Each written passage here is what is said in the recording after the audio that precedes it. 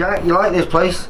Uh, uh, sixth fight, third stoppage, and the second one here at, uh, at Bolton. Yeah, uh, good performance. You know, I knew we were coming out. We are going to come try and land a big one.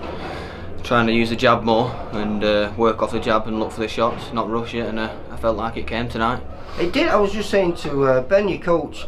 Uh, it was it was nice because you worked for that opening, mate. It Yeah. wasn't. You didn't just go looking for a big shot. It was a beautiful uppercut, the Yeah. first one that you dropped him with, and the damage was done with Yeah. that single shot, wasn't it? Yeah, And, and then, like I say, I think you, was it uh, you knocked him over again. What about 10, 15 seconds Yeah. later, and the referee waved it off. it yeah. Right decision as well. Yeah, felt like it was right decision. You know, I trained hard for that. You know, and I've got the decision what I wanted. Yeah, well, it's uh, it's been a good 2018 for you, mate. Yeah, as, I yeah. think what four fights, three stoppages under us, is Yeah. it? So you're making a bit of a quick, name for yeah. yourself, mate. Maybe quick.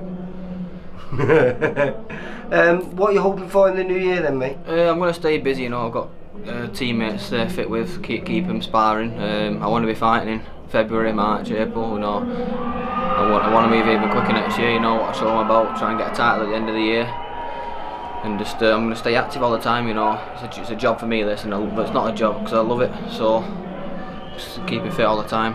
Yeah, no, no, listen, mate. I, I keep seeing massive improvements with all of you, and uh, I thought Jack Kilgannon fought really well today. Uh, showed things that he's not seen before, and I think you showed a lot of patience there, mate. Uh, was it the third round that you eventually round, yeah, caught yeah, him with?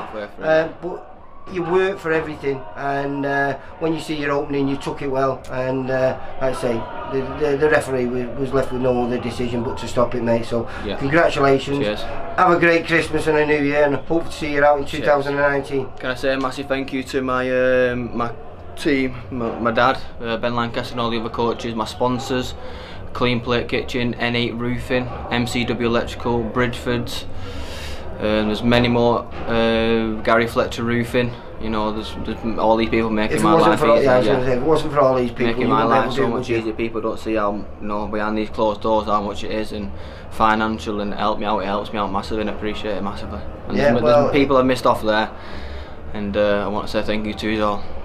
Well, like I say, with performance and all your fans, because you brought A, a massive Great- crew great- down here tonight. Always, always a great crowd, you know. It's second to none all the time.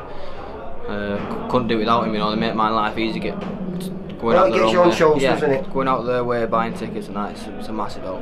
And besides that, it, it, they got two for the price of one today with yeah. uh, both you and Jack Kilgannon yeah, on there. Definitely. So, well done, mate. Have a, have a great Christmas and look forward to seeing Cheers. you out in 2019. Cheers, Lee. Thank you, pal. Take care, mate. Bye-bye.